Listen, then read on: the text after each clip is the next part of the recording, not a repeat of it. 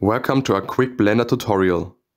In this video I will show you how to easily make a wireframe in Blender to show the topology of objects.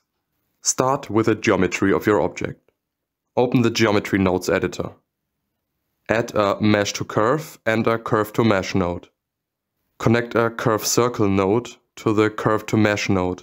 With the radius slider you can adjust the wire thickness, but it's very sensitive. To control it easier, you can connect a math multiply node with a 0.001 factor to have a softer leverage for the adjustment. Use a set material node at the end and select a material from the drop menu. For a plain white appearance, you need an emissive material. If you are fine with a transparent wireframe, you are finished at this point. But if you want faces on the wireframe for a solid appeal, proceed with the following.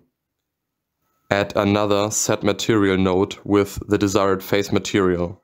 Connect a join geometry node at the end and connect both set material nodes to it.